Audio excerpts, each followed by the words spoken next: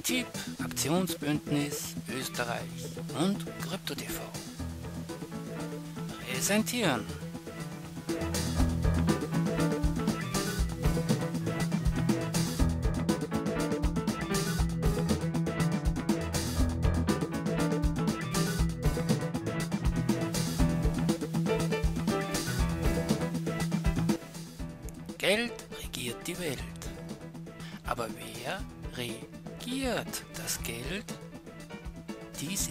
Vortrag und Diskussionsabend zum Geldsystem.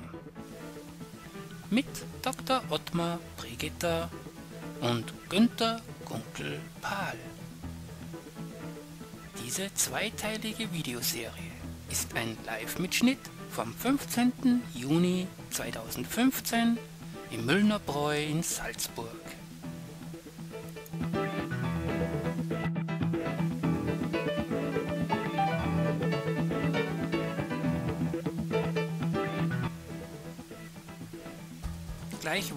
Fast alle Menschen es nie zulassen würden, das Wasser profitgierigen Konzernen zu überlassen, wissen die meisten nicht, dass die Gelderzeugung zu 98% privatisiert ist und von Banken als Geld aus dem Nichts, Buchgeld, ausschließlich als Kreditschuld erzeugt wird. Die bizarren Auswüchse unseres Geldsystems zeigen sich bei den Staatsschulden. Der Staat rettet die Banken genau mit dem Geld, das er zuvor von ihnen als Kredit aufnahm. Und er zahlt seine bei Kreditinstituten aufgenommenen alten Schulden plus Zinsen mit neuen, höheren Schulden zurück.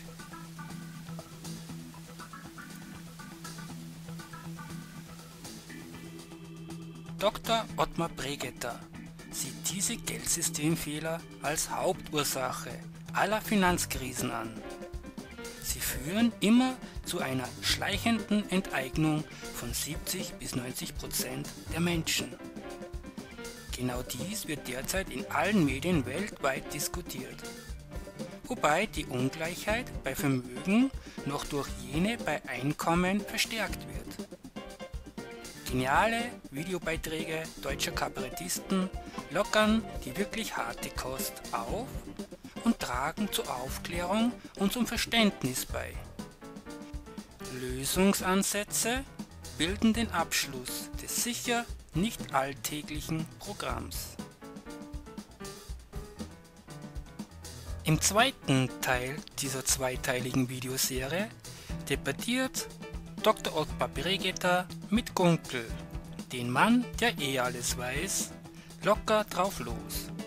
Ihre Argumente wogen hin und her und nach zwei bis drei Aufwärmrunden binden sie das Publikum gekonnt mit ein das schon mit zahlreichen Fragen brennend darauf gewartet hat. Beide freuten sich auf diese rege Teilnahme und der lebendigen Debatte. Und nun sind auch Sie herzlich dazu eingeladen, diesen Abend in diesem zweiten Video mitzuerleben. Viel Vergnügen!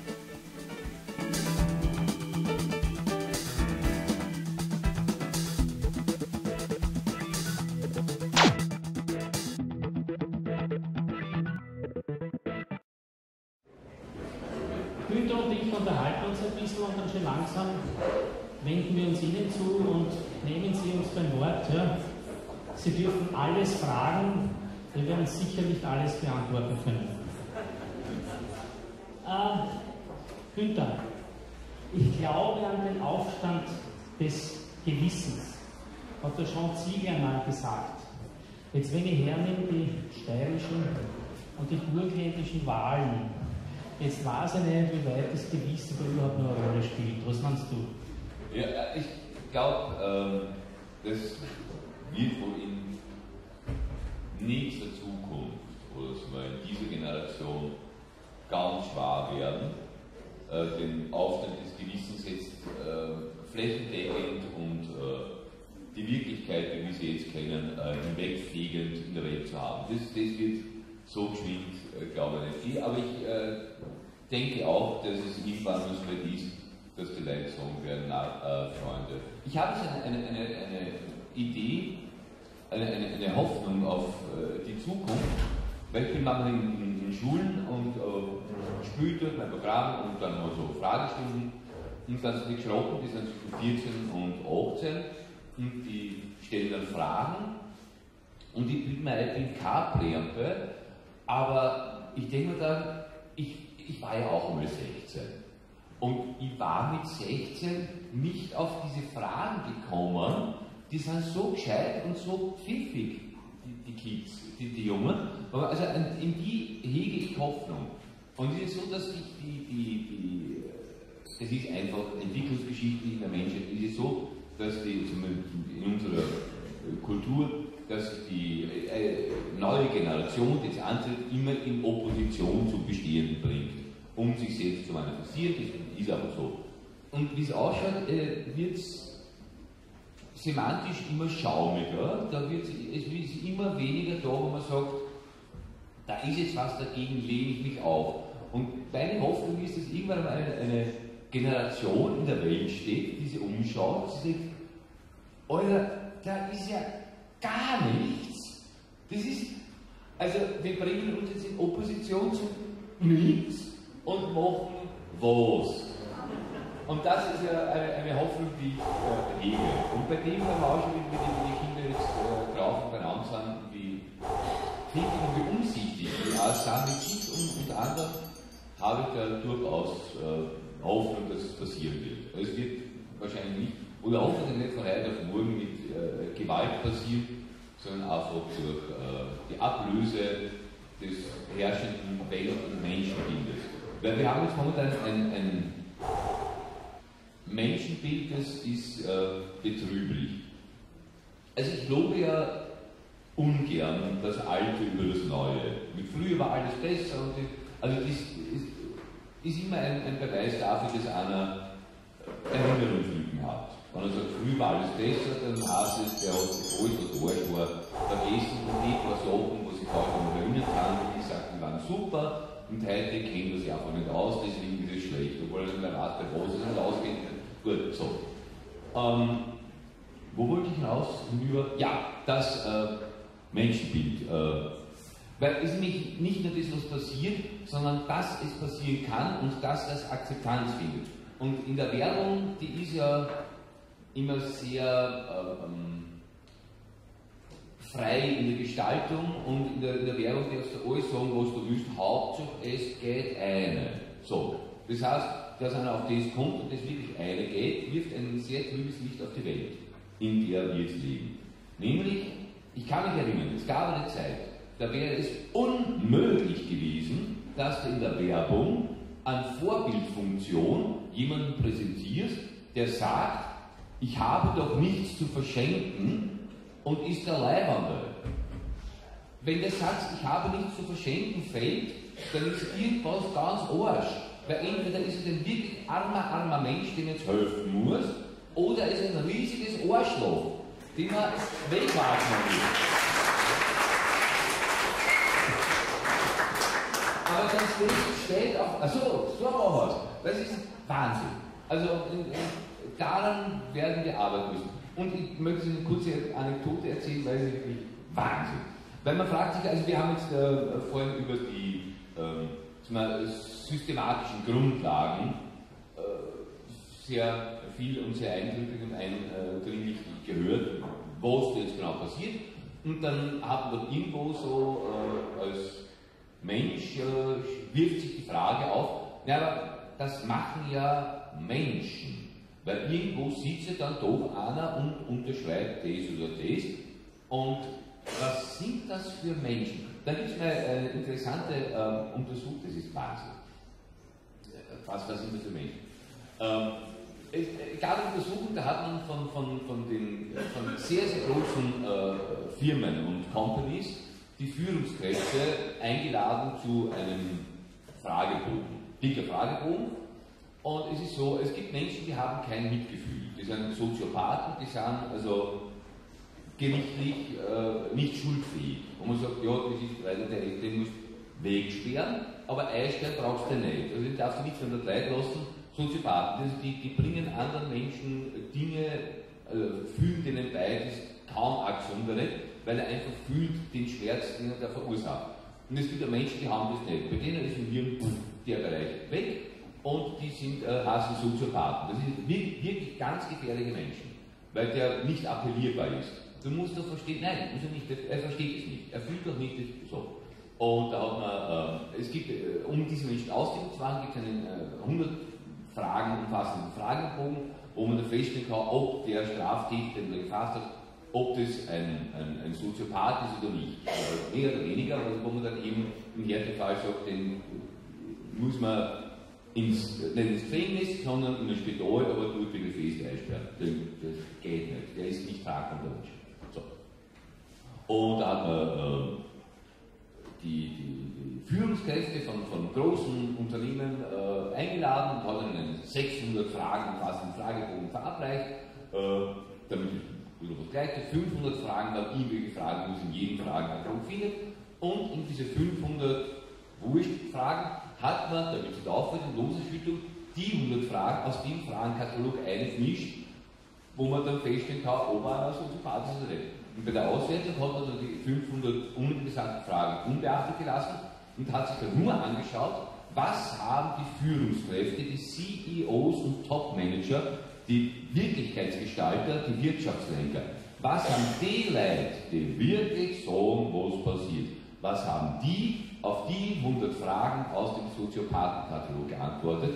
Und ausgekommen ist, dass fast 80% davon Soziopathen sind. Also das sind Menschen, die sind nicht so wie wir. Interessanterweise hat man den, denselben Versuch gemacht mit Strafgefangenen, also mit rechtskräftig verurteilten Straftätern, und die haben besser angeschrieben. Okay, äh, von Soziopathen, es gibt da noch ein anderes, also bleiben wir noch ein bisschen beim Gewissen. Äh, ich weiß, Günther, du warst da auch, äh, jetzt muss ich ein Geheimnis ausplaudern, eingeladen auch bei Biologen auf der Uni, dass du einmal mitdiskutiert hast. Ja. Da haben wir so ein bisschen gesprochen. Das, was natürlich uns alle betrifft, ist äh, die letzten wir, 30, 40 Jahre die totale Ökonomisierung aller Gesellschaftsbereiche. Also Privatisierung der Bildung, alles was also Privatisierung der Gesundheit, wie wir wissen, amerikanisches Gesundheitssystem ist privatisiert, kostet 17% vom BIP, unseres ist staatlich, kostet 10%. Also alles, was privatisiert ist, ist nicht automatisch besser. Und bei den Biologen dringt halt auch in der Wissenschaftsbereich diese Ökonomisierung, also Wirtschafts-, also biologische Forschung gegen Geld immer mehr durch. Und da gibt es ein Sprichwort, ein tolles, Wissenschaft ohne Gewissen bedeutet den Untergang der Seele. Von François Rabelais, Schriftsteller. Äh, nachdem, nachdem, du dort diskutiert hast, ist da noch eine Seele oder bestimmt die Geld, wie teuer die Seele ist? Äh, noch ist dort Seele und Gewissen, weil die müsste natürlich schon mit klarem Blick und ohne erkenntnisleitendes Interesse sie ausschauen, was passiert da, aber die, die Ausdeutung dessen unterliegt dann schon auch dem, der den Befund versteht. Und das ist äh. Nur ähm, ist ja äh, Wissenschaft und Wirtschaftsministerium zusammengelegt. Und da ist man dann ein bisschen blauäugig bei den, bei den äh, Biologen. Also, was aber wurscht ist, ist ja wurscht welche Wissenschaft. Es ist so, Wissenschaft hat eben kein erkenntnisleitendes Interesse zu haben. Das ist nur da kannst du Wissenschaft machen, nur dann kannst du herausfinden, wie was wirklich ist, wenn du nicht daran interessiert bist, was rauskommt.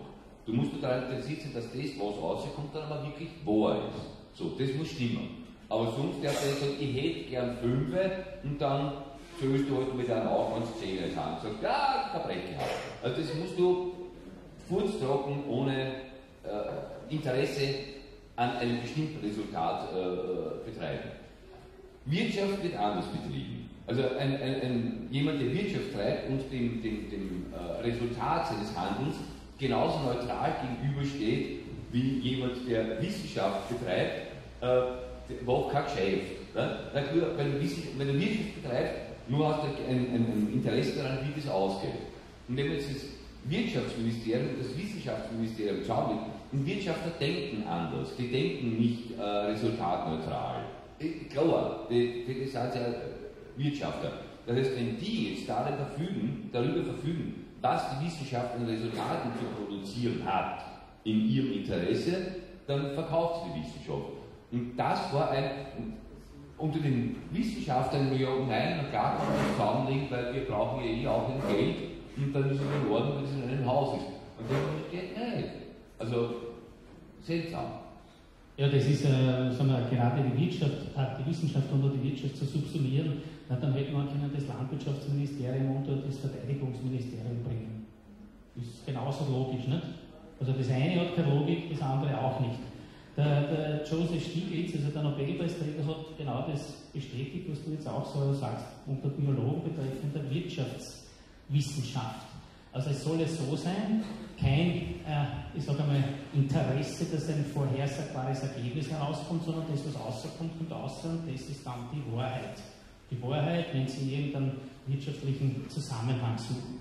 Jetzt ist es in der Wirtschaftswissenschaft zumindest seit der Krise, ich habe erwähnt, diese Lehmann-Pleite, die in keinster Weise irgendwas verursacht hat, äh, so, dass das alles sich umgedreht hat. Ja? Also dass nicht mehr dieses Interesse vorherrscht, sondern man biegt sich die Realität der Theorie gleich.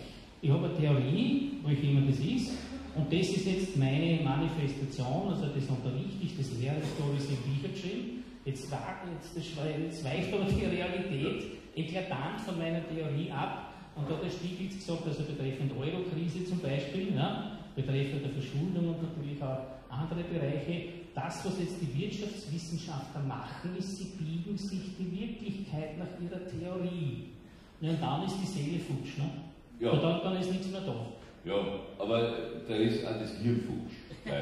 also, mit dem Verlust der Seele kann man ja eventuell noch leben, aber äh, also jetzt, wenn man selbst darüber eine verfügt, ne? also da kann man zumindest sagen, Alter, das, was du machst, ist faktisch falsch. Wurscht, wie es dir geht, dabei ist falsch. Aber wenn die Instanz, wo man sagt, hey du, es gibt richtig und falsch, und der sagt, da, es gibt nur wie es ist und das ist richtig, also das heißt, so wie ich sage, das ist die normative Kraft des Faktischen, ne? dass, also, dass Dinge nicht äh, äh, zur Kenntnis genommen werden und dann, so wie es ist, ist es oder auch nicht gut, sondern man sagt, das, was ist, ist, weil es gut ist. Also man, man äh, findet eine Welt vor und glaubt dann, dass alles, was ist, so ist, weil es auch so kehrt. Und es wird nach Gegenentwürfen gar nicht mehr gesucht und nachgedacht. Und was Menschen das bedeutet, ist eine tatsächliche Anekdote, ist mir wirklich passiert. War sehr lustig. Ähm, nämlich lustig erschütternd, weil dann haben wir gesagt, oh, jetzt verstehe ich es. Äh, irgendwann leitet bei mir in der Flur, äh, an der Tür, davor steht ein Mensch und sagt, er will von mir eine Lawine. In Schilling Sage ich, interessant, äh, jetzt, warum? So, ja, ich habe meine Steuer nicht bezahlt. Sage ich, falsch, die habe ich bezahlt. Und er sagt, ja, na, also er hat den, den Pfändungstitel und er will jetzt bei mir das Geld holen. So, Moment, ich habe den Darkschein, Hochstempel, da steht, ich habe meine Steuer bezahlt. Sagt er, ja, das, äh, er hat nicht. Sag ich, na, dann gehen wir auf die Bank. Gut. Wir sitzen aber jetzt dann am Hof, damals noch Länderbank, äh, Zentrale. Und sitzen dann beim Ober, Chef von dieser Filiale, der ist wahrscheinlich nicht, also die Direktor dieser Bank, wo dieser großes Drum, äh, sitzt dann im Büro und äh, der Gerichtsvollzieher, der Herr Bank und ich, und äh, stellt sich heraus, also die haben meinen Erlagsschein zwar abgestempelt, aber das Geld nicht überwiesen. Das heißt, ich habe im guten Glauben, ich hätte meine Steuer bezahlt, bin heimgegangen und die haben. Wurscht, so, gut, äh, so, dann ist der Fall ja klar, Sie, Herr Bank, zahlen Sie, Herr Gerichtsvollzieher, freien Sie und ich gehe jetzt heim. Sagt der Gerichtsvollzieher, hm, so einfach ist es nicht, weil es sind Strafen gegen Fängungstitel, was ich Scheißdreck aufgelaufen. Es jetzt 20.000 Schilling noch bezahlt werden. Sage ich, also wir halten bei Sie zahlen das, Sie freien Sie und ich gehe. Am nächsten Tag ruft mich der von der Bank an, daheim, und schlägt mir vor, dass wir uns diese 20.000 Schilling Strafe teilen weil ich hätte meine Kontoauszüge kontrollieren müssen. So gesagt, muss ich nicht, ich kann nicht sagen, nichts schmeißen. Sie verlangen von mir Kontoführungsgebühren dafür, dass ich mein Konto führe, die zahle. Die zahle ich nicht, die nehmen sie sich einfach.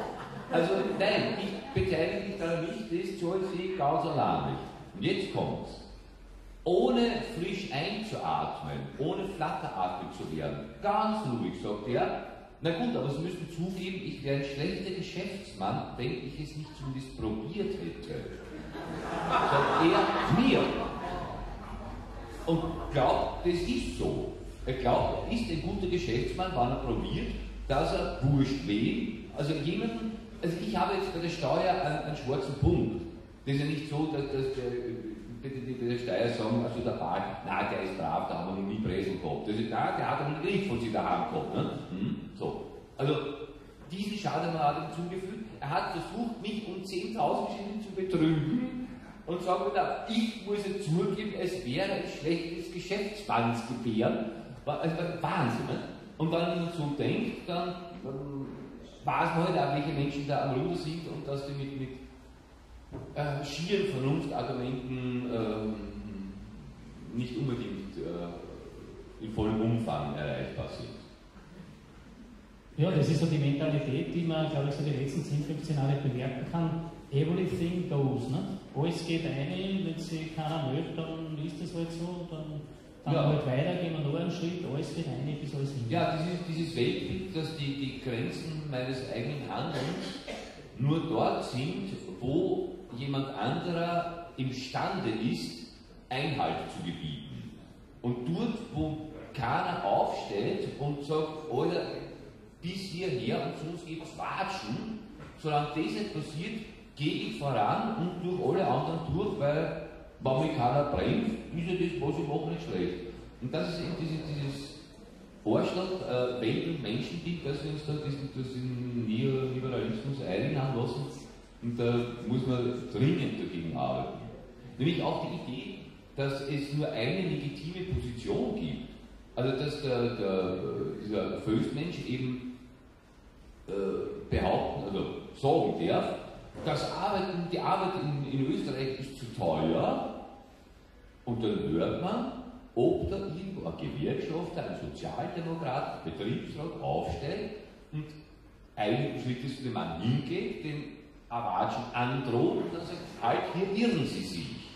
Da, das, äh, ich weiß schon, warum Sie das sagen, weil Sie eine gierige Sau sind. Aber so ist es nicht.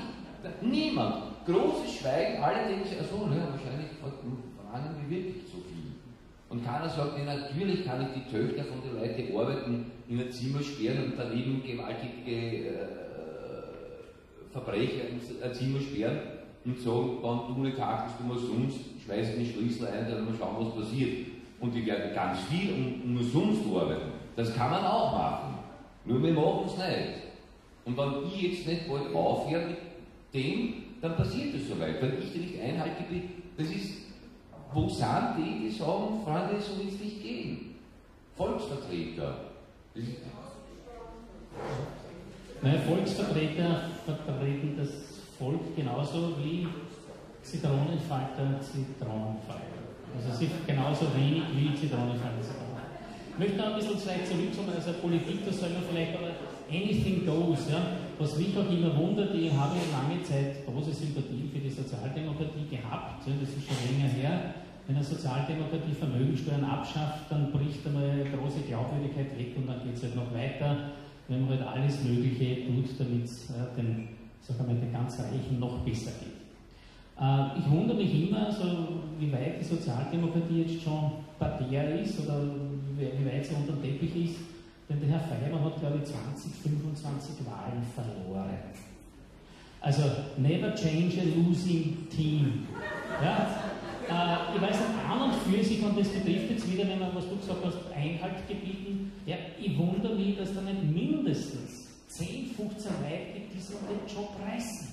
Das kann doch nicht sein, dass bei einer großen Partei, jetzt kann man das bei der ÖVP genauso sagen, nicht mindestens Zähne um die Nummer 1 streiten, nämlich in der Sache. Also nicht, ob der rote Krawatten hat oder was auch immer, sondern in der Sache.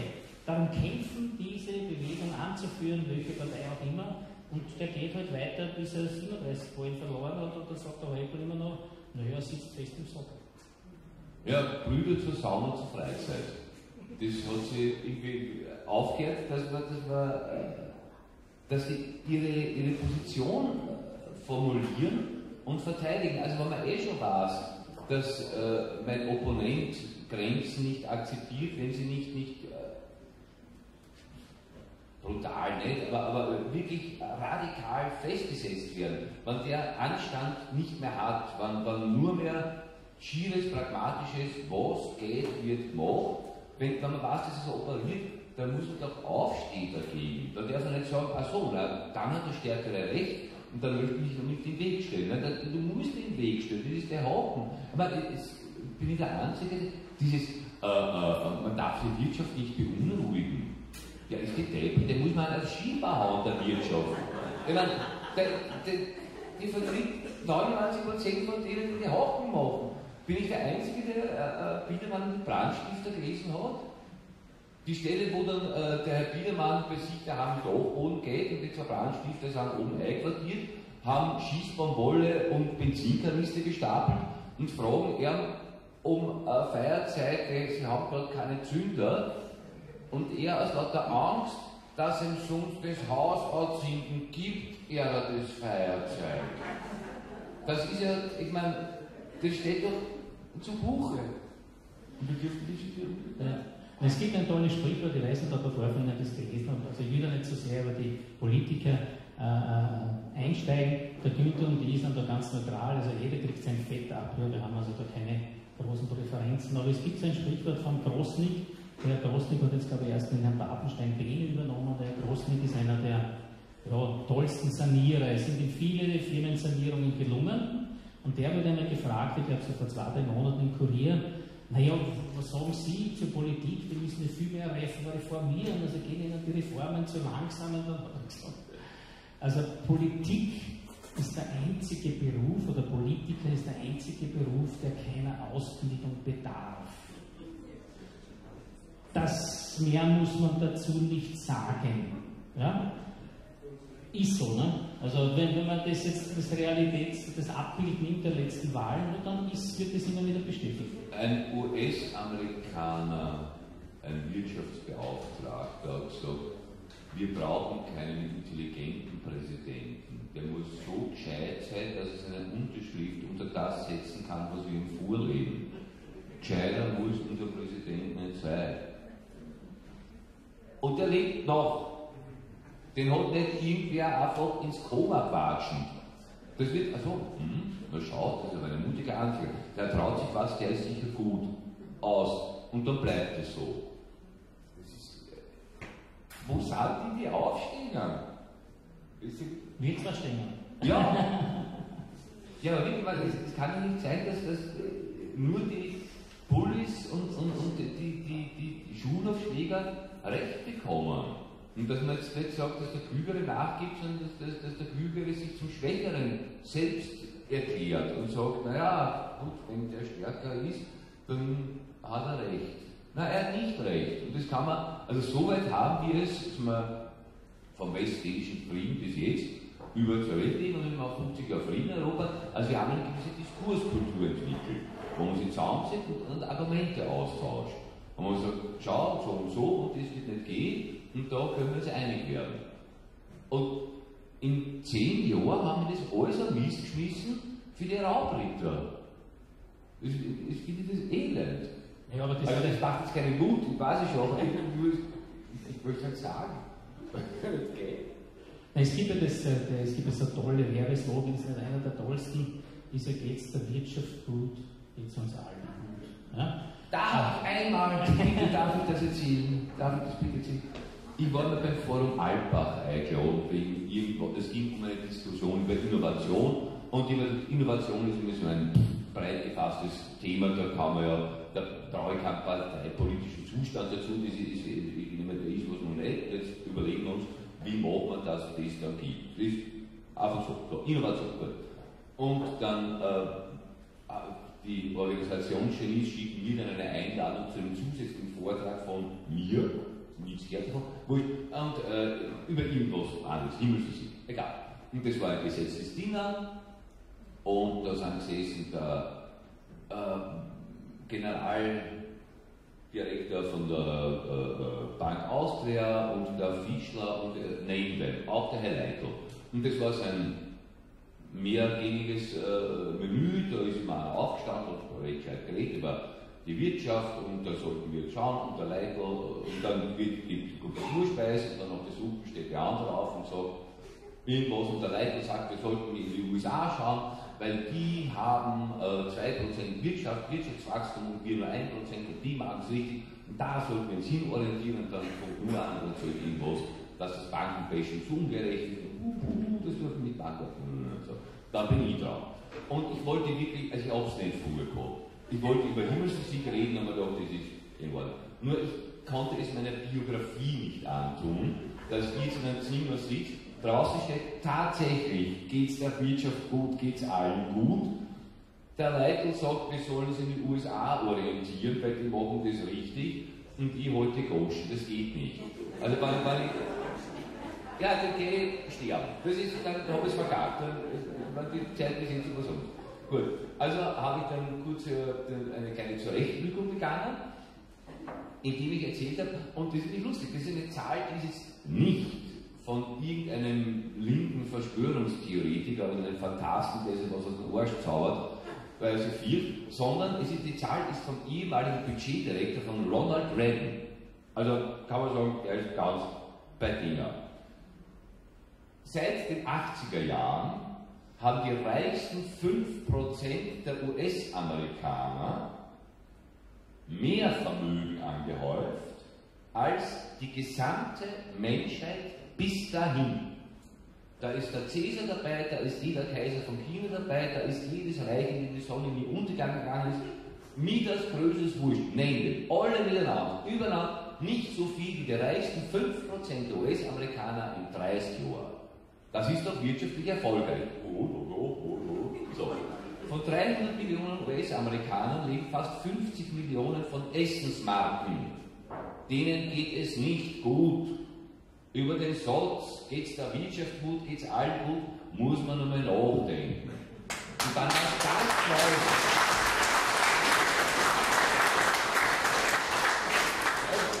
Hat mir sehr gefallen, also genau tut, dass man das möchte. Das war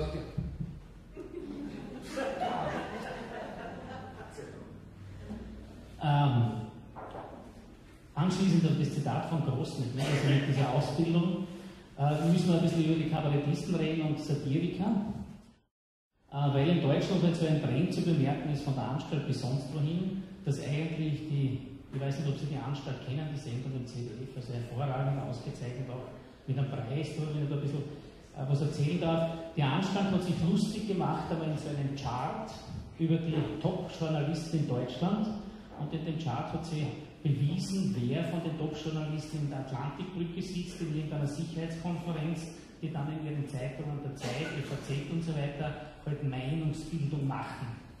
Daraufhin hat sich der Dr. Josef Joffe, Herausgeber der Zeit, äh, bemüßigt gefühlt, muss man das einmal vorstellen, auf der Zunge zu gehen lassen, Satiriker zu klagen, weil sie die Wahrheit gesagt haben. Die haben das äh, präsentiert und wenn man das als Satiriker tut, dann hat man blendendst recherchiert. Diese, die Anstalt wurde abgedreht in der ersten Gerichtsinstanz, aber in der zweiten wurde der Anstalt Recht gegeben. Jetzt müssen Sie sich vorstellen, einer der Meinungsbilder, der Dr. Josef Joffe ist natürlich auch bei den Bilderbergern nur so am Rande gesagt, einer der größten Meinungsbilder-Magazine, die Wochenzeitung Die Zeit, verliert gegen die Anstalt, ein Satiremagazin, das sich der Wahrheit verpflichtet fühlt, in zweiter Instanz, weil sie die Wahrheit aufgedeckt haben. Und mittlerweile ist es so, Sie haben ja auch den Herrn Volker Bispers gesehen, dass äh, die blendenden Satiriker natürlich der Wahrheit verpflichtet sind und mittlerweile also besser die Leute informieren als die Zeitungen, als die Journalisten. Ja? Und jetzt äh, die Frage auch an dich, also äh, Journalisten und Satiriker, ja, für Humor und Satire bedarf es ja der Intelligenz. Und das ist ja das Dilemma. Wie meinst du das? Es ist, äh, ja, also tatsächlich ist, äh, erfordert Humor Intelligenz, nämlich von beiden Seiten, also vom, vom Betreiber und vom Rezipienten. Weil Humor findet immer zwischen äh, soll und ist statt. Das ist in, in dieser Grätsche, in diesem Saldo Mortale, darin findet Humor statt. Man hat eine Idee davon, wie es sei soll, was sich der Welt, wie es ist, Und jetzt kann man sich hiobsch davon in die Knie zwingen lassen, sein Leben lang leiden und bittere Tränen weinen und glauben, man hätte damit schon einen Wert an sich erledigt. Oder man kann sich drüber stellen, sich diese Situation anschauen, aber nicht nur die beiden Bereiche, sondern auch den Spalt dazwischen, das Ausmaß und die Art und die Verfasstheit dieses Spaltes genau analysieren, beschreiben, sich darüber lustig machen und das so konzise und, konzise und valid mitteilen, dass andere genau diesen Spalt und was daran lächerlich ist, erkennen. Und dafür muss der, der es formuliert, intelligent sein und der, der es versteht und darüber lacht, muss auch intelligent sein. Also Humor erfordert auf jeden Fall Intelligenz. Unruhigend finde ich folgende Entwicklung, nämlich, und das ist in den USA auch, da gibt es den John Oliver und den, den äh, John Stewart und andere, die haben so äh, Nachrichtensatire-Sendungen. Und früher, wieder mal früher, aber früher war es so, da hat der Journalist oder die Journalisten haben die Fakten berichtet und der Satiriker hat es dann kommentiert. Und mittlerweile ist es so, dass der Satiriker die Fakten auch berichten muss. Weil das, was berichtet wird, ist nicht das, was diesen Spalt zwischen Soll und Ist darstellt. Also das finde ich irgendwie, äh, man, sollte den Journalisten auch Geld wegnehmen. Ja. Ja.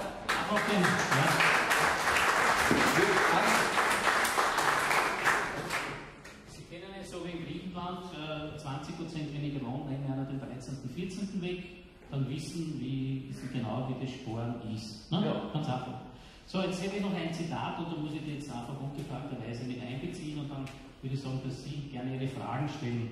Es war, glaube ich, heute oder gestern, Silvia, du wirst das sicher besser wissen, wäre Che Guevara 86 Jahre geworden. Und der Che Guevara hat gesagt, und ich denke, da sind wir uns einig, vor allem bewahrt euch stets die Fähigkeit, jede Ungerechtigkeit, die irgendwo auf der Welt begangen wird, aufs tiefste zu empfinden. Das ist der schönste Charakterzug eines Revolutionärs. Für das muss man nicht mehr revolutionär sein, für das genügt, wenn man Mensch ist. Revolutionär sein. Ja, ja, schon, ja, aber du, es genügt Mensch zu sein, um, um sich daran, zu, um, um das als Latte zu nehmen. Ja. Dann gibt es bei uns zu wenig Menschen. Mir ist noch was, äh, äh, äh, nämlich äh, die Sache mit dem Schuldgeld. Ich, äh, also, wie bizarr das ist, was da passiert. Ähm, also ich habe gedacht, Geld entsteht, indem der Staat sich ausschaut, was gibt, was haben wir, was machen wir, was leisten wir, stellen wir her, was schaffen wir an Werten und dafür legt der Staat dann, weil das, dafür ist der Staat, Anteilsscheine auf und durch Leistung kann ich äh, äh, Anteile erwerben am Volksvermögen, die ich dann als Gutschein ausgehändigt bekomme, weil das, was ich gearbeitet habe, liegt als Wert in der Welt vor und äh, dafür gibt es einen Gutschein, das kann ich eintauschen in was anderes. So dachte ich, funktioniert Geld. Das Geld bildet die Welt ab. Klar, für das, was es gibt, gibt es dann Anteilsscheine. Weil das ist ja da. Sprache bildet die Welt ab. Für das, was gibt, was passiert, was sein kann oder auch was. Also alles, womit wir uns umgeben, dafür haben wir Begriffe und Namen und Wörter. Und manchmal kommt was leicht dazu und dann brauchen wir ein neues Wort. Das passiert. Ne? 1983 hat keiner Computer oder WLAN. Es gab keine Notwendigkeit, das zu benennen und es gab auch also dieses Wort nicht. Niemand erfindet Wörter auf Fuhrrot. Wörter gibt es nur für das, was es Word gibt. Geld ist anders. Es gibt Geld, das die Welt nicht abbildet, weil so, so viel Geld haben wir nicht, wie es Geld gibt, und dann wir einkaufen und zahlen was, so als wäre der Betrag, den ich da jetzt woher gebe, wirklich Abbild der Welt. Also,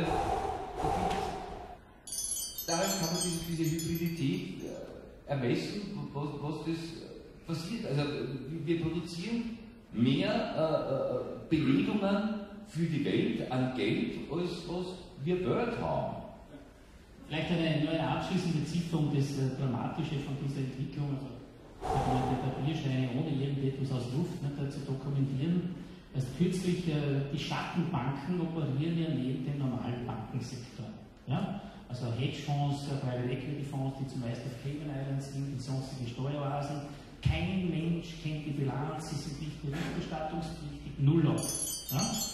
Geschaffen wurde das unter anderem, das muss man dann auch wissen, und da sind natürlich die Politiker wesentlich mitschuld, mit Basel II. Mit Basel II, das muss man sich auf der Zunge zergehen lassen, wie das gelesen habe, bin ich fünf Meter kupft den ganzen Tag lang, wurde den Banken gestattet, außerbilanzielle Gesellschaften zu gründen. Sonst ist einmal ein Bäcker, der sagt, okay, die Schulden kriege ich aus, dann mache ich außerbilanzielle Gesellschaft in Schopron und ich bin das Geld los. Genau das ist passiert und diese außerbilanziellen Gesellschaften sind dann auch überwiegend Schattenbanken. Die Schattenbanken, da wurde einmal der Herr Trichet gefragt, vor drei Jahren, wie er noch im Antwort, in einem Presseinterview, naja, was halten Sie von Schattenbanken, wie groß sind die? Da hat er gesagt, naja, so ungefähr wie die offiziellen. Die offiziellen Banken hatten damals eine Bilanzsumme von 30.000 Milliarden in der Eurozone und das BIP war 9. Jetzt habe ich also 30.000 Milliarden an, an offiziellen Geld, das eh schon aus nichts entsteht, aber daneben habe ich noch einmal 30.000 Milliarden, von denen keiner weiß, ob das 30 sind oder 100. Und jetzt äh, die, die letzte Information ist, dass die Schattenbanken weltweit circa das Zehnfache der Wirtschaftsleistung ausmachen. Das sind die Schattenbanken, das sind noch nicht inkludiert die offiziellen, auch das Geld aus dem Nichts ausschütten. Also in dieser Welt leben wir und die Schattenbanken haben natürlich die rechtliche Grundlage, die unter anderem auch in Basel II mündet. Also das heißt, wenn wir jetzt über eine Vertretung in einer Demokratie in Europa reden, müssen wir es auch mal upside down alles umdrehen, damit wir halbwegs wieder in eine lebenswerte Welt jetzt sind Sie an der Reihe, wir stehen für Fragen zur Verfügung. Ich gehe mit dem Mikrofon hinter, weil dann, dann hören wir alle und wir werden früh in ein Mikrofon reden, je nachdem, wer die Antwort hat. Ähm, diese Schattenbanken könnten ja nicht existieren, wenn nicht so viele Menschen auf dieser Welt zocken würden. Sicher. Was, was, wer, wer kauft was bei Schattenbanken? Meinen, wer bei den Schattenbanken was kauft oder wie habe ich das richtig verstanden? Die Schattenbanken könnten nicht existieren, wenn nicht so viele Menschen mit diesen Schattenbanken, Hedgefonds und und und äh, spekulieren. Ja, es sind ja nicht sehr viele Menschen, die spekulieren. Ne? Ja, viele. Viele. Ah ja, also im Verhältnis, also wenn ich hernehme von den Banken, vielleicht 1 bis 2 Prozent der Bankangestellten, die dort beschäftigt sind. Weil einer nehmen Sie her die großen Verluste bei Spekulationen 4, 5 Milliarden. Wenn Sie so einen Verlust haben, dann spekulieren halt pro Tag um 15, 20 Milliarden. Und da sind also nicht so viele Angestellte bei Hedgefonds im Verhältnis zu den normalen offiziellen Bankangestellten. Aber die tun nichts anderes, als dass sie spekulieren, das ist richtig.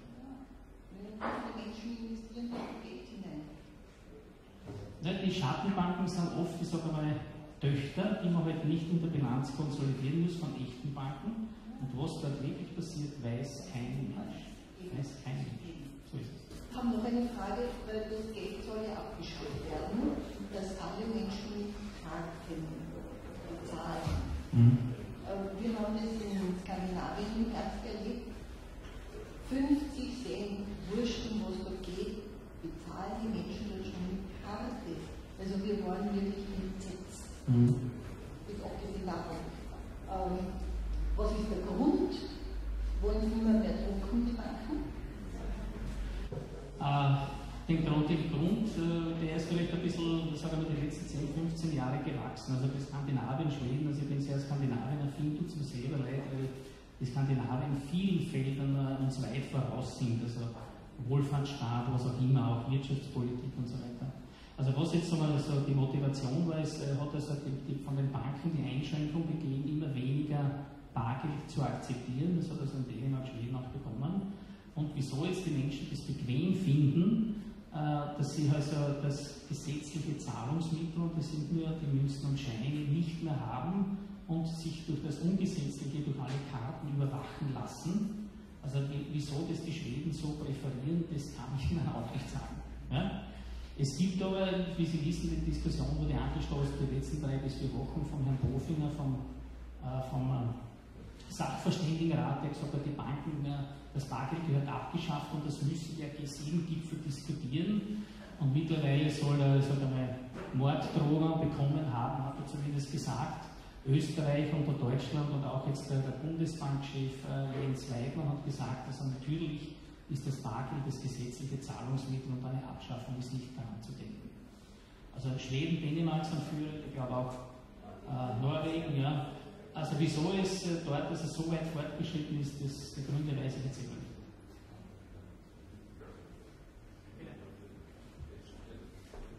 Da wollte ich mal Vorkampf. Alexander Krieg.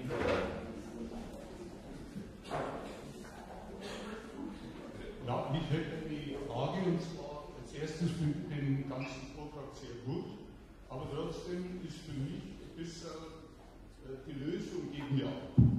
Und zwar die Handelsbilanz, nur eines äh, herauszunehmen, die Handelsbilanz Überschuss eines Landes wird zum Negativen in einem anderen Land.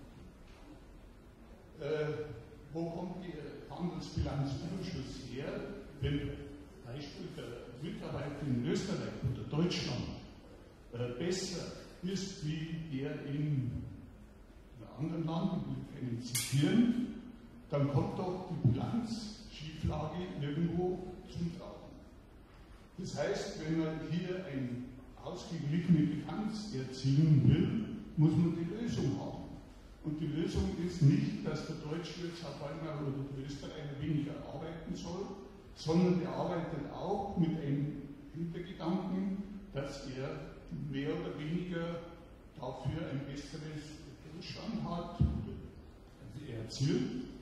Äh, hier geht mir irgendwie äh, das Runde ab und auch die Lösung.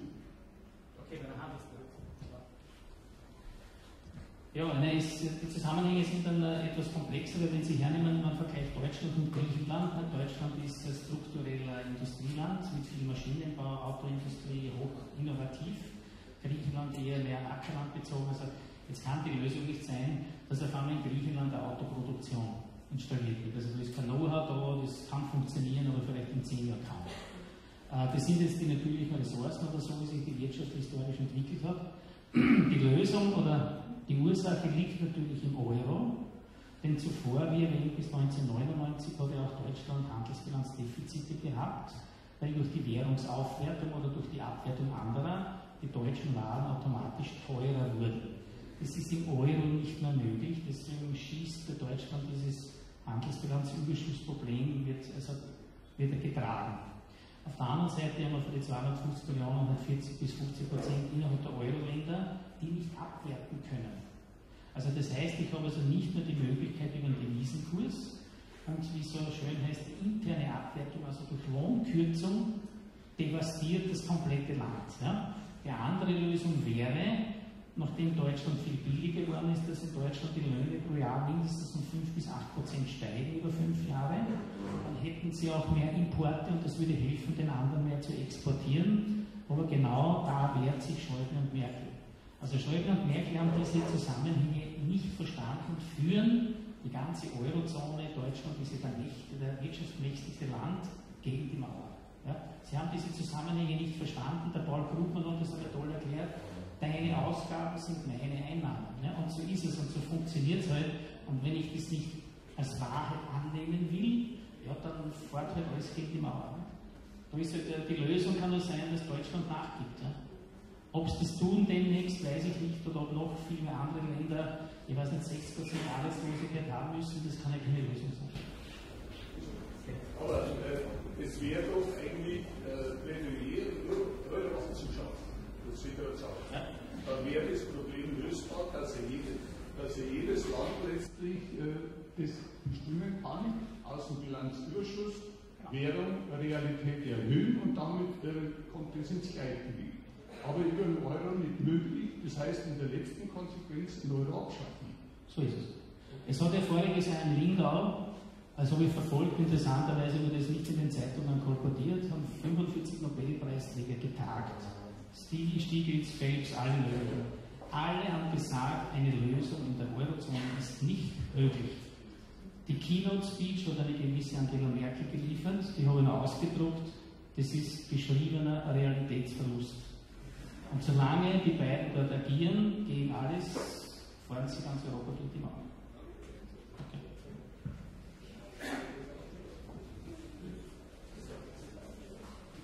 An die Mauer, die ist aber nicht mehr da. Seit 25 Jahren, oder? Ähm, die Fakten liegen eigentlich ganz klar auf dem Tisch, an der Wand, wo auch immer. Äh, das war ganz wunderbar, dass Sie das da aufgezeigt haben. Und, und äh, möchte noch was hin, hinzufügen. Äh, Schattenbanken äh, und warum Bargeld abgeschafft werden soll. Ähm, da gehören wahrscheinlich die Schattenregierungen oder die Schattenregierung dazu. Ohne Schattenregierung gibt es keine Schattenbanken.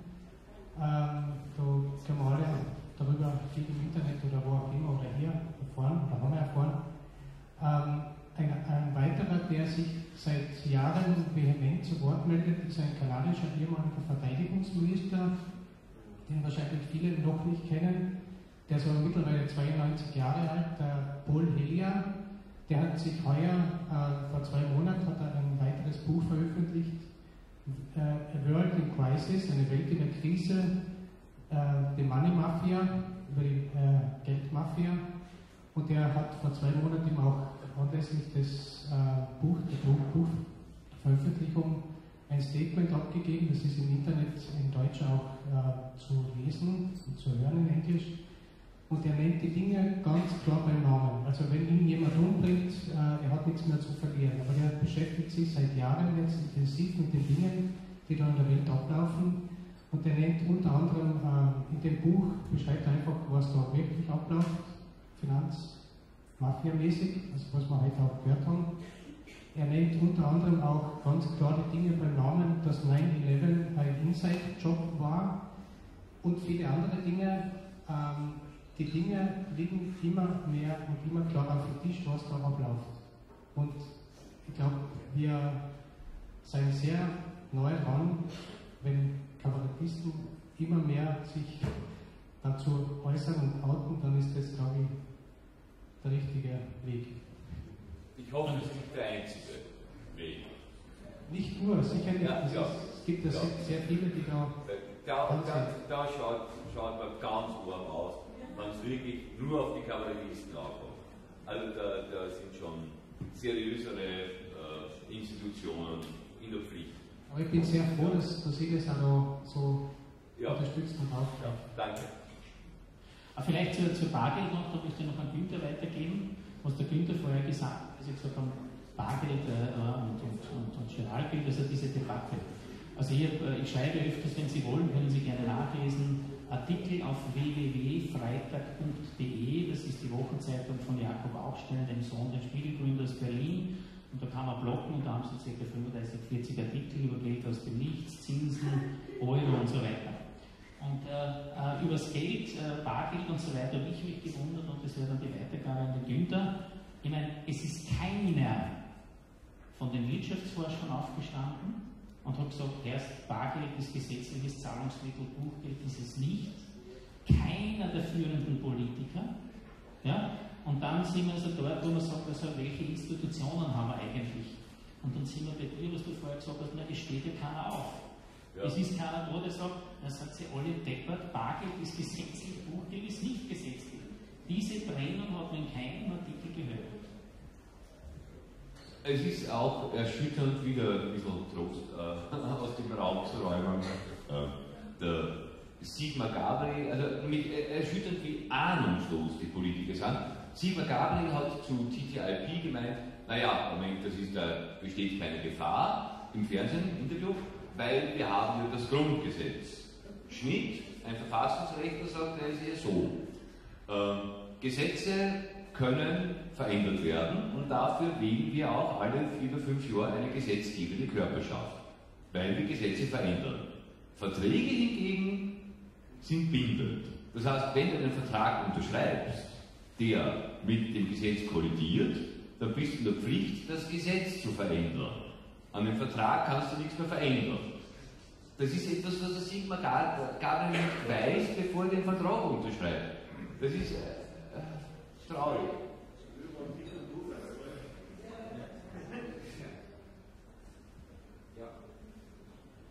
Hallo? Ja. Ja, vielen Dank erstmal für den Vortrag. Der war sehr informativ. Äh, ich hätte mir ein bisschen mehr über die Lösungen noch was gewünscht. Das ist natürlich sehr, sehr schwer. Keiner weiß eine richtige Lösung. Aber ich habe dennoch zwei, drei wichtige Fragen. Und zwar einmal, wie gefährdet sehen Sie unsere Altersvorsorge, auch hinsichtlich der Inflationsentwicklung? Es wird uns ja eine falsche Inflation vorgegaukelt in der Presse. Äh, ich mache mir doch sehr, sehr starke Gedanken über die Altersvorsorge.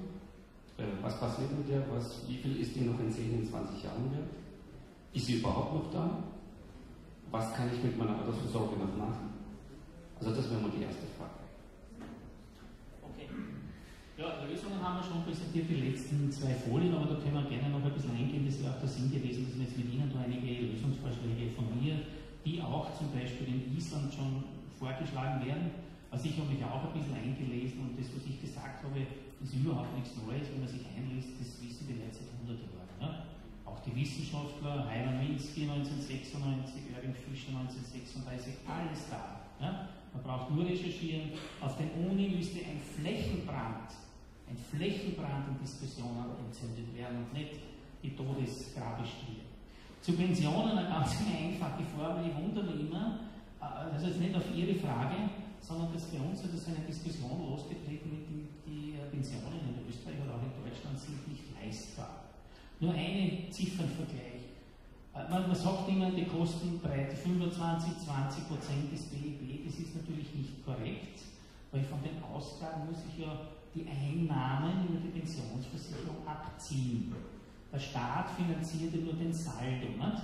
Einnahmen minus Ausgaben gibt ein Defizit und diesen Finanzbedarf muss der Staat finanzieren aber nicht die ganzen Ausgaben, weil da hat er die Einnahmen nicht berücksichtigt. Der Saldo macht in Österreich der Pensionen ca. 9 Milliarden aus. Die Subventionen für die Wirtschaft, der es gut geht, 20. So, jetzt frage ich Sie, was ist leistbar, die Pensionen oder die Subventionen? Also das steht keiner gegenüber. Ja? Natürlich sind die 8 Milliarden jederzeit leistbar, äh, aber wenn Sie das gemeint haben, Deutschland und Österreich, ein Vergleich mit in Österreich bleibt vom Nettolohn ca. 65, 66 Pension, kommt also in die Pensionsvorsorge nicht ausbezahlt. In Deutschland sind es jetzt schon nur 45. Das sinkt weiter durch die Riester-Rente. Wenn das unter 40 ist, haben sie eine Altersarmut, die ist so wie zur industriellen Revolution um 1850. Ja, und das ist, das ist die Riester-Rente, die so gut verkauft wurde. Dort haben sie genau das Problem, das sie angeschnitten haben. Deswegen mache ich mir Sorgen die Altersarmut. Das liest man ja auch in der Zeitung oder im Internet.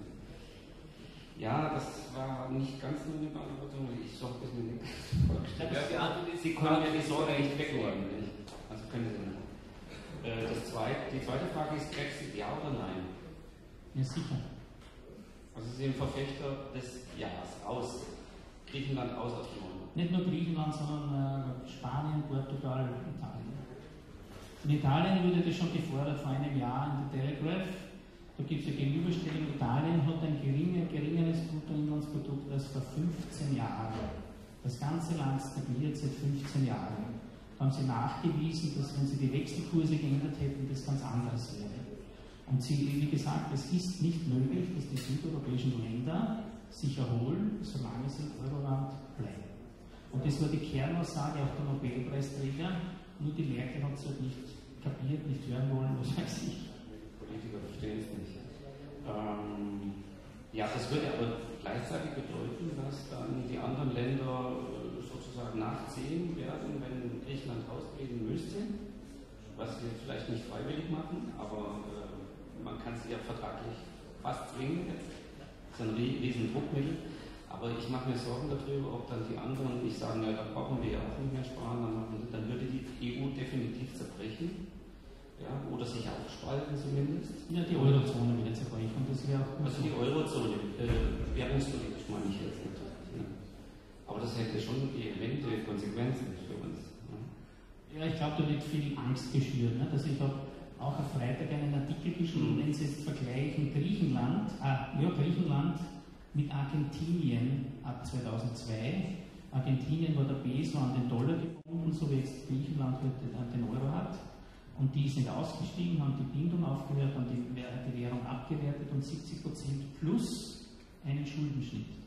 Dann hat sich das Land also sehr schnell in zwei Jahren stabilisiert, erholt, Arbeitslosigkeit gesunken, Armut gesunken, Wirtschaftswachstum, Exporte. Man muss beides machen. Und solange man das nicht tut, geht es weiter.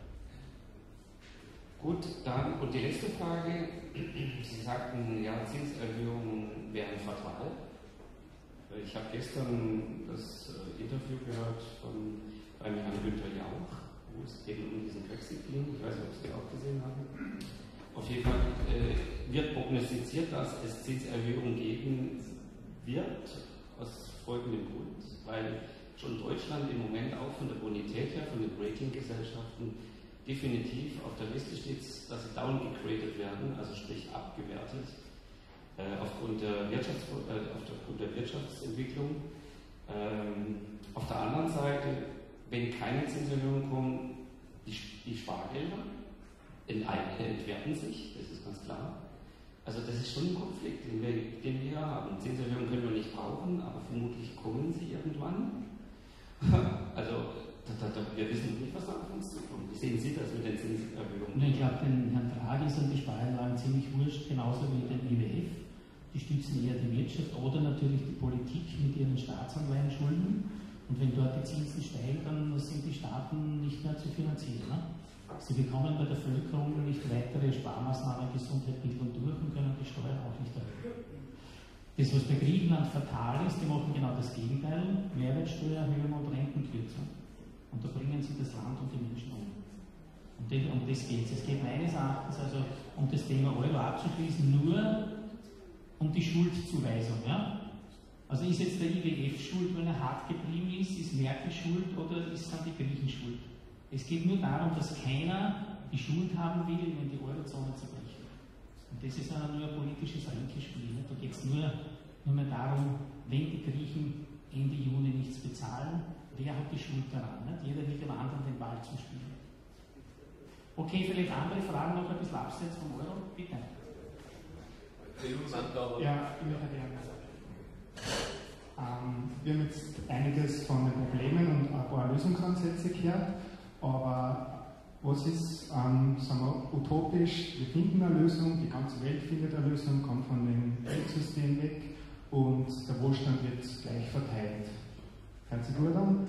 Äh, ist es wirklich dann für die Welt, den Planeten und die Menschen gut? oder die ganzen Lebewesen. Wenn jeder Auto hat, jeder großes Haus, jeder was, was da gut was leisten kann, ist das dann die Lösung? Natürlich nicht. Ne? Nur um nicht missverstanden zu werden, ich bin kein Wachstumsfetischist, also das ist überhaupt nicht Thema. Wenn aber der Staat das Geld erzeugt, dann bin ich ja losgekoppelt vom Wachstum. Weil ich kann alle Pensionen finanzieren, wurscht, ob ich eine Rezession habe oder nicht. Weil ich das Geld selber erzeugt. Nicht? Wenn ihr alles über Kredite finanzieren muss und der Zins noch eine Rendite braucht, die die anderen, die arbeitenden Menschen erarbeiten müssen, dann geht es natürlich. Und jeder, ist einmal, das ist diese gedankliche Schranke, die man brechen muss, speziell bei Wissenschaftlern. Wenn jemand das Geld selbst erzeugt, dann brauche ich hinten kein Wachstum. Wofür? Ja, selbst Wachstum heißt ja nichts anderes wie mehr Stück, mehr Häuser, mehr Autos. Ja, wir brauchen nicht mehr Häuser, wir brauchen eher weniger, wenn ich an den Ressourcenverbrauch denke. Nicht? Und mit weniger kann man auch gut leben. Wenn die Rente und das Einkommen gesichert ist. Nicht?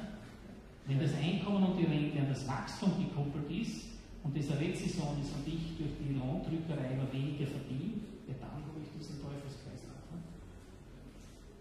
Ja, genau. Entschuldigung, das macht die isländische Regierung, nicht? die ist dabei, das zu diskutieren.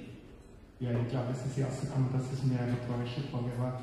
Ähm, aber beim Wirtschaftswachstum sagen und bei den ganzen Problemen, die die beginnen, man muss halt nur weiterdenken und schauen, was braucht man wirklich zum Leben, nur als Gedanken.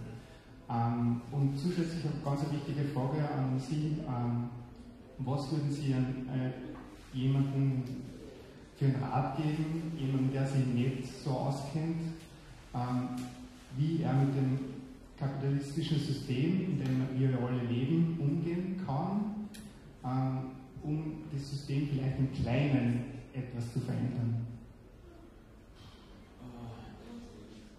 Also das System im Kleinen zu verändern, äh, sich dem so weit wie möglich entziehen, die Werte, die da im Gebälk der Welt hängen, sich mir ganz genau anschauen und äh, nachschauen, ob das jetzt äh, wirklich gewonnen zu haben ein Wert an sich ist oder man sich mal anschaut, um was ist überhaupt gegangen, was ist der Outcome. Und äh, ist der Sieger immer gut oder ist der Sieger vielleicht einfach äh, nur schlauer als die anderen? Und äh, dann einen eigenen Wertekatalog entwickeln, in dem äh, es dann gut ist, wenn es möglichst vielen gut geht und nicht wann per Gruppensaldo eh pro Kopf, sagen wir, viel überbleibt, nur das wollte nur einer und 99 Stimmen im Regen. Und man sagt, ja, aber diese Gruppe ist zerreicht, nein, das ist auch zerreicht. Also man schaut, dass man möglichst in seinem Umfeld Ideen etabliert und exekutiert, in denen äh, Gemeinwohl ein, ein, etwas ist, was man nicht übers Knie äh, in die eigenen Taten wuchten muss, sondern dass das das ist, worum es geht. Und wenn einer halt wirklich unbedingt für schnelle Auto haben will, dann ist er die Aufnahme. Und wenn man das nachhaltig, beständig und, und bewusst betreibt, kann es sein, dass man in seinem kleinen Umkreis so weit äh, äh, ein lebenswertes Klima schafft, dass es für andere Umkreise auch attraktiv wird, dass es sich zumindest so ausschaut. Das ist das, was man effektiv als Einzelner tun kann, wenn man nicht Wirtschaft studiert hat oder studiert oder in der Lage ist, Brandreden zu führen vor tausenden Menschen. Ja, ähm, vielleicht nur so, man, man kann den Kapitalismus ganz einfach besiegen, ja? institutionell, also nicht jetzt in kleinen Erstens, sie nehmen dem Kapitalismus. Sie verstaatlichen das Geld. Mir geht es darum, das Geld zu verstaatlichen, aber nicht die Banken. Die Banken können das Geld verteilen, aber nur das Geld, das sie vom Staat bekommen. Die Banken fungieren wie eine Hofer-Filiale, eine Biller-Filiale oder Dengelmann-Filiale, die dann das Geld in Buchungszeilen verteilen können für die Wirtschaft, für die, die es brauchen. Aber es gibt natürlich dann kein Geld für eine Spekulation, es gibt keine außerbilanzielle Gesellschaft, nur dann keine Schattenbanken, weil es kein Mensch braucht. Es gibt keine Spekulation auf Rohstoffe, auf Kupfer, die dann irgendeine Firma zahlen muss, damit sie dann pleite geht, weil der Preis um 50% stimmt. Das ist das eine Mittel. Deswegen ist es ja machtpolitisch so wenig diskutiert, weil sie an den gesellschaftsmachtpolitischen Grundfesten rütteln. Was wir tun, wir rütteln an den Grundfesten. Wenn sie das Geld den Banken wegnehmen wollen. Das zweite ist natürlich, bin ich gleich fertig, das bedingungslose Grundeinkommen. Wenn Sie den Menschen einen Wohlstand, eine Rente gewähren, eine Grundrente, dass sie sich an, an der äh, sagen wir, an der Gesellschaftsstruktur beteiligen können, ohne arm und arm zu sein, weil sie halt einen Beruf gehabt haben, wo sie wenig verdient und unter der Rente dann nur 44 Prozent von dem kriegen und dann Altersarmut entsteht, ja, dann kann ich durch das BGE, das natürlich auch für die Pensionisten gilt, so hoch hält, dass eine Beteiligung an äh, Wohlfahrt der Menschen möglich ist. Und das kann ich ganz locker bezahlen, wenn der Staat das Geld erschafft. Und mit dem, also mit, der, mit dem BGE habe ich ja das Einkommen das, also das Geld, also das Einkommen, den Gehalt oder die Rente von der Beschäftigung getrennt. Und das ist ja das Revolutionäre, es ist ja das Wort bedingungslos. Und wenn ich das bedingungslos umsetze, ja, dann habe ich diese ganzen, wo die Sozialdemokratie herrscht, sozialen Alimentierungssysteme wie Pflegegeld, Arbeitslosengeld, Krankenkassen nicht mehr, denn sie kriegen das Geld sowieso, ob sie jetzt eine Arbeit haben oder nicht. Und das ist ja das Revolutionäre und deswegen äh, wird es ja auch in der Sozialdemokratie nicht diskutiert oder negativ diskutiert, weil sie dann ihren Machteinflussfähren verlieren. Es geht immer um Macht, es geht beim Geld um Macht und es geht beim BGE um Macht. Wenn Sie beides trennen, beim BGE haben Sie dann wirklich freie Menschen. Denn Sie müssen nicht Schneeschaufeln gehen, wenn Sie Schlosser sind. Sie sagen, na, eh nicht. Ich kriege meine 1000 Euro 1200 Euro, mir geht's gut, das geht dir vom Staat, super. Ja? Und deswegen sind diese zwei Themen, ich sage einmal so, machtpolitisch behaftet und werden natürlich von den herkömmlichen Parteieninstitutionen niederargumentiert und totschlagargumentiert. Ich bin da überall Ihrer Meinung, außer bei einer Sache, wo ich schon glaube, dass man auch im Kleinen jeder für sich äh, großen Teil dazu beitragen kann, einfach einmal, indem man verzichtet. Für mich oder so kann Verzicht Freiheit bedeuten. Freiheit von Kapital, Freiheit von, was der Gott was, Bedürfnissen.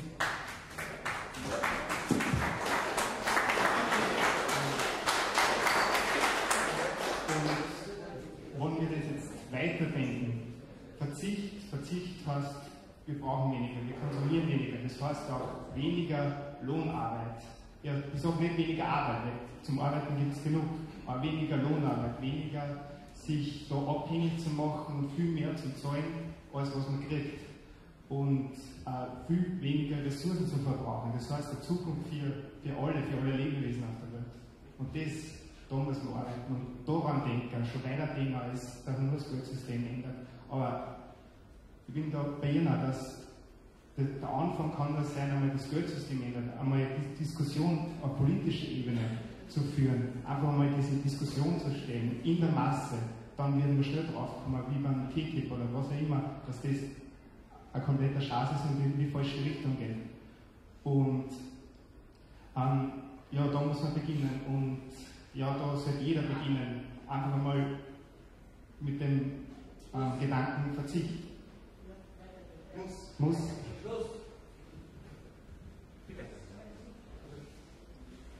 Hallo, ich möchte mich jetzt vorstellen, ich bin Wolfgang, Salzburg geboren, grüße euch alle, schön, dass ihr hier seid. Wir sind sehr wenige. Ich sage jetzt einmal, das hat kein Revolutionspotenzial wahrscheinlich. Äh, das ist aufklärend, wichtig, informativ. Äh, ich bin so ein Freund von intellektuellen Diskussionen. Es wird auch auf einem sehr hohen Level auch von der Information her viel weitergegeben, bin ich sehr dankbar dafür. Trotzdem möchte ich mich einfach auch zu einem gewissen Realismus bekennen. Äh, real ist, ich möchte jeden Tag gesund aufstehen, ich möchte jeden Tag was zum Essen haben, was zum Anziehen, ich möchte meine soziale Infrastruktur haben, ich möchte äh, Prämissen haben, wie liebe deine Nächsten, jeden respektieren, ehren, schätzen und äh, wenn möglich sogar noch höher achten als mich selbst, je nachdem wie hoch, wie hoch ich mich selber achte. Ähm, ich bin aufgewacht vor vielen Jahren und es war ein schreckliches Erwachen, einfach Erwachen zu, der, zu dem äh, Faktum und der Tatsache, dass hier schon seit langer Zeit geplant wird, vorsätzlich umgesetzt, Kriege angezettelt und äh, da, da, dadurch noch äh, Profit eingeheimst und das auf Kosten von Millionen. Gell? Also ich sage nur Zweiter Weltkrieg, 20, 22 Millionen Menschen, erster Welt. Unglaubliche Zahlen, genauso unglaublich und unpackbar für mich wie die Zahlen, mit denen hier auch äh, äh ausgedrückt wird, was da abgeht. Milliarden Euro, keine Ahnung, was das ist. Millionen, weiß ich nicht. 100.000 noch nie gehabt.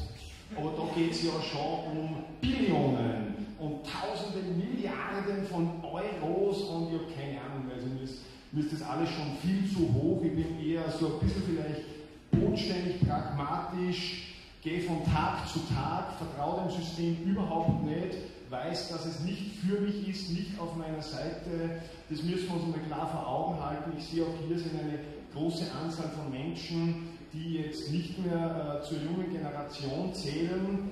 Die junge Generation wird es noch in einem ganz anderen Ausmaß treffen als uns alle. Äh, ich bin noch nicht Pensionist, also ich habe noch ein bisschen was vor, Revolutionen anzetteln, ja, gerne irgendwas in Bewegung setzen, am Watschen austeilen, bin ich sofort dabei. Nur, ähm, nur als Korrektiv im Diskurs. Also nicht künstlich, ich sage nur, es wäre als strukturierende Maßnahme. Also, Geht aus. Ich halte auch meine Klappe nicht. Ich, ich, ich halte meine Klappe nicht. Ich rede mit allen Leuten. Ich rede über das System. Ich rede über die Zeit, in der wir leben, das aktuelle Zeitgeschehen. Ich rede über Finanzen und auch darüber, wie wir uns jetzt am besten vorbereiten.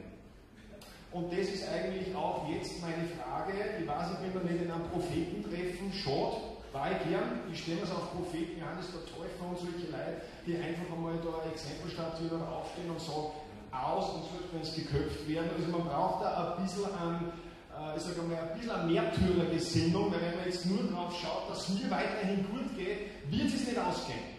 Und wir sind leider alle sehr gehirngewaschen. Von klein auf wurden mir Dinge gesagt, wie sie sein sollen. Und da muss ich mal wissen, und das möchte ich einfach als, als äh, Hilfestellung auch geben, weil ich mich selber so behandle, ausmisten.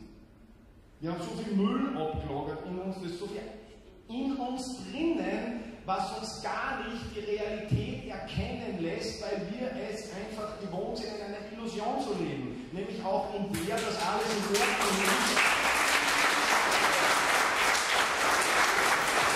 Dass alles in Ordnung ist, weil wir jetzt hier gemütlich beisammensitzen können, jederzeit uns ein Bier bestellen und ein Essen holen und ein angenehmes Klima ist und wenn ich rausgehe, erwartet mich auch kein, keine Straßenschlacht. Versteht ihr? Aber wie lange noch? Und das möchte ich gerne wissen. Ich möchte ungefähr wissen, worauf wir uns noch dieses Jahr, äh, äh, auf was wir uns vorbereiten oder worauf wir uns noch gefasst machen können dieses Jahr. Äh, ich glaube an gewisse, es gibt, äh, ich weiß, das ist kein ESO-Treffen, ich bin ja keiner, aber Esoterik äh, bedeutet ja jetzt nicht nur irgendwie so abgedrehte Leute Haaren, sondern auch Numerologie zum Beispiel. 2001, 2008, 2015, das sind immer sieben Jahre zwischen. Was kommt? Habt ihr da irgendeine Ahnung? Oder seid ihr jetzt nur diejenigen, die jetzt einen Teilbereich einmal beleuchten und sagen, okay, äh, zum Thema Finanzen? Weil es geht ja um viel mehr crasht bald, soll unsere Kohle sofort in irgendwas äh, umwandeln, was wirklich einen Wert hat. Nicht, man Geld kann ja nicht essen jetzt ankommen. Aber hat es irgendwas ganz Praktisches? Ich will was Praktisches wissen. Ich will von Leuten, die so viel wissen wie ihr und sich die Sachen so genau anschauen haben, äh, äh, es war mal ungefähr ein Anhaltspunkt. 2015, jetzt ist Juni. Wir haben noch einige Monate bis zum Jahresende. Ich habe was gehört von September.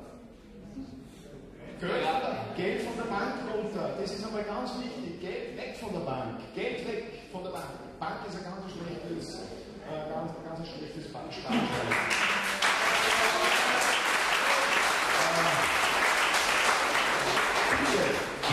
Sonst noch was ich tun kann, dass ich äh, so gut wie möglich überlebe. Soll wir unser Haus irgendwo am Land kaufen? Soll wir aufbauen? So, okay.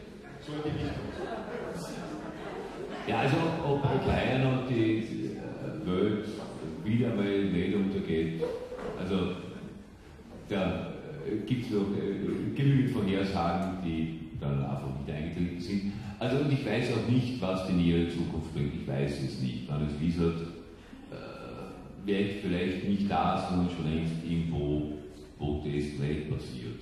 Aber ich, ja, also, also ich, weiß es nicht und das, äh, das äh, Weltgeschehen bewegt sich immer in einer gewissen Bandbreite von Möglichkeiten. So, in der Chaos-Theorie hast du das Lorenz-Attraktor.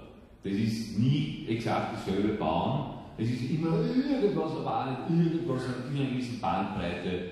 Also so richtig komplett aus dem Ruder laufen wird es nicht. Das glaube ich nicht. Geld abheben ist auf jeden Fall ein, ein, ein guter Tipp und äh, vor allem äh, drauf, äh, zwei Tage freinehmen. Ja, den Tag, wo man hingeht und sagt, ich hätte es gern, und dann den Tag, wo die sagen, ja, in drei Tagen haben wir es dann. Nicht überrascht sein, wenn die sagen, wieso Geld? Nein, aber nicht. Ihr Geld haben wir nicht da. Das ist mir passiert. Wenn wir Geld abheben, sagt, also wie war beim Bäcker mal halbtags frage, wieso, wie kommen Sie auf die Idee, dass wir ihnen Geld geben können auf der Bank? Also das muss man schon wissen. Das, ist, das geht nicht gleich. Also das, das große Sache muss man erst am nächsten, übernächsten Tag mitbringen. Ja, sonst geht der Film gut und was sonst passiert ist, äh, ja, also ich kann natürlich auch eine Prognose geben. Äh, wir haben uns ja schon einmal, wenn Sie sich erinnern, 2011, ne, da sind die ganzen Börsen eingebrochen, 40, 50, 60 Prozent. 2009 äh, war die größte Rezession und da waren also weltweit, also wirklich ein Desaster, keiner gewusst, was da wirklich los ist. Und äh, die, der Welthandel ist also eingebrochen, also weltweit um, um 7 bis 10 Prozent und dann halt die Rezessionen und so weiter. Aber man kann also da jetzt keine Prognose geben, aber so wie der Günther auch gesagt hat, was ich auch immer rate, was ich im Interview auch gesagt habe, selbst bei diesen Nullzinsen kein Geld auf der Bank haben. Also jede Krise, jede Finanzkrise war immer so, dass bis Freitag alle Zeitungen geschrieben haben, super, Paletti, es wachsen die Kirschen, der Löwenzahn 3000, die Vogel zwitschern und von Montag bis Mittwoch waren die Börsen zu und die Banken zu und das Geld war um 30% weniger wert. In Amerika wurden sogar das private Gold eingefordert. Also wenn Sie Gold gekauft haben, müssen Sie das Gold bei der Federal Reserve abliefern. Ja? Also so weit gehen dann die, ich sage mal, Kriegsgesetze. Und die Kriegsgesetze gelten nur, das Finanzsystem in die nächste Runde zu bringen. Und die nächste Runde ist immer die gleiche. Ja? Ich bin im gleichen System, es werden die Schulden und die Vermögen werden reduziert, gleichzeitig reduzieren sie die Schulden und dann beginne ich von einem niedrigen Niveau mit dem gleichen Spiel. Und ich bleibe aber im gleichen System, im Geldsystem, mit den Zinsen und dann dauert es wieder 40 Jahre. Und sowas in der Geschichte die letzten 300 Jahre. Wenn Sie hernehmen, vielleicht noch einen Input, John Law gilt als der Erfinder des Papiergeldkapitalismus zur Zeit Ludwig XIV. Er hat die erste privat, private Nationalbank gegründet, die den Staat finanziert hat. Frankreich war pleite und die Leute haben großgefressen auf der Wiesen, das überliefern die Historiker. Ob sie jetzt großfressen auf der Wiesen oder wenn man nach Griechenland schaut, die Differenz, ist, der Unterschied ist sehr klein. Ja? Also das heißt, wir leben in ähnlichen Zeiten und wir wissen das alles seit Jahrhunderten. Und die Frage ist, ob halt die Menschen, wir uns aufraffen können, eben so wie der Che Guevara bei Ungerechtigkeit immer dagegen zu halten. Solange wir das selber nicht dagegen halten, wird halt der Ball weiter an die Wand gefahren werden, was dann, wie es dann endet, denken Sie an 1929. So wird's, so wird's, na, na, denken Sie an die Depression, so wird es dann auch enden. Wenn wir es diesmal nicht schaffen, was anderes zu tun.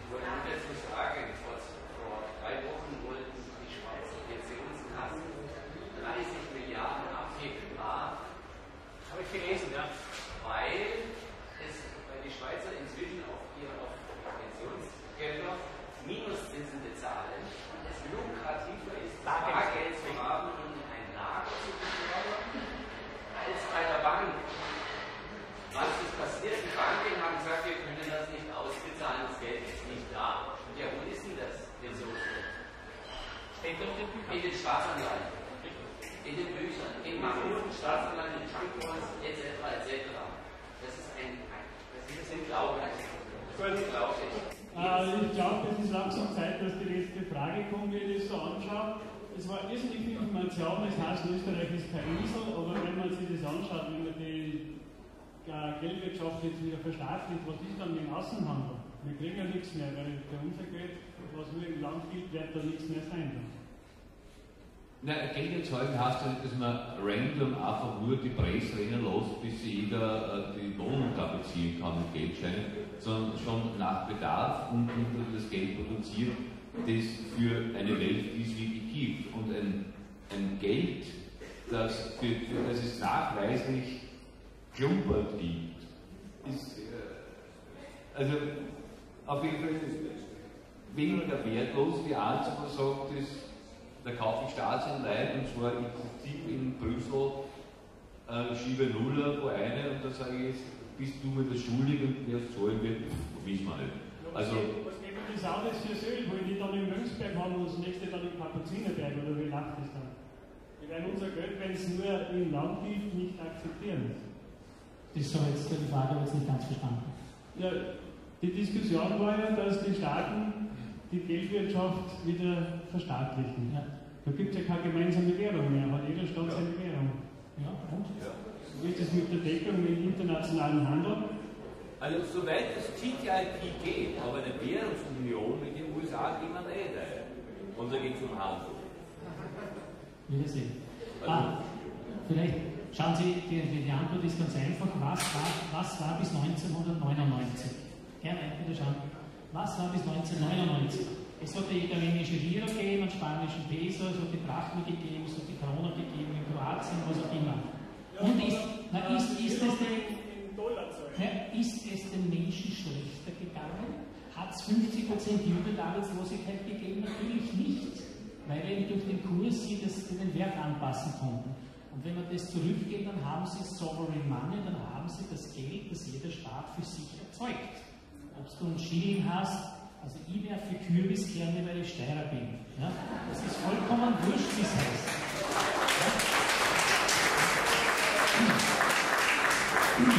Das, was bei der Währung ja die große Lüge ist, dass immer die Umfragen bestätigen, die Leute hängen so an dem Euro. Den Menschen ist es wurscht, sie wollen zahlen, sie wollen leben, sie wollen Urlaub fahren, sie wollen sich Bier kaufen, whatever. Mit welcher, mit welcher Buchgeld ist es, ist egal. Nicht?